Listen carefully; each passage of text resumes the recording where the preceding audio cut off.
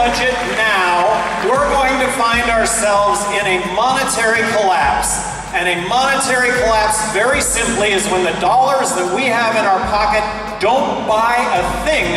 I am the only candidate that's going to be talking about balancing the federal budget now.